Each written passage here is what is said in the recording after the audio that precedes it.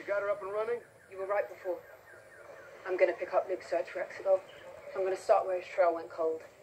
The Forbidden Desert of Pasaana. Yeah, I know. We're going with you.